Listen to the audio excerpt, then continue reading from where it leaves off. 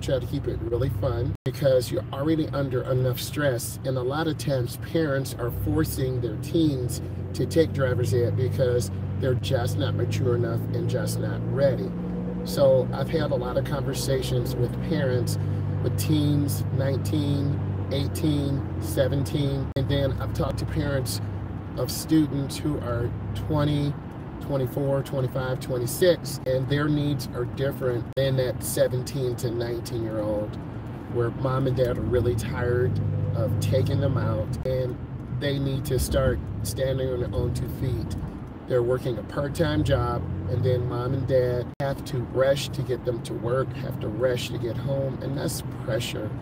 You don't see it a lot when your parent, but your parents get older and they get really tired, and they will do it for you, won't complain, but really you need to start doing this for yourself. And I'm trying to teach independence, and I realized that the second year I started teaching driver's ed, I had a parent meeting, and parents gave me a list of expectations you know, we need you to get our son or daughter ready to drive. We have a car for them, but they don't want to drive.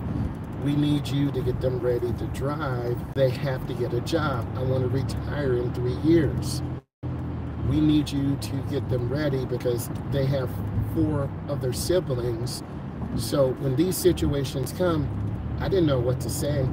I just listened to the parents and I wrote down all these things and I'll be sharing the list of things that they talked about on a later video.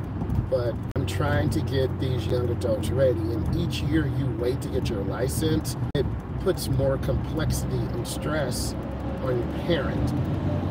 Your parents would do anything for you, but at a certain window of time, usually right after college, 18, 19, you start working in your career. I know it's a little bit different today. There's social media out there, there's crypto, there's real estate but you have to travel to these locations if you're real estate. You got to be able to drive. You're going to be going in areas of Houston, Texas that are not real good. You're going to be going areas of Detroit that are not real good. You're going to be in areas of Los Angeles, Long Beach that are not really good. And if you don't know how to drive, how to read a map, how to read streets, you're going to end up in an area that is not real comfortable. We were driving in Houston, Texas with a client and she got lost.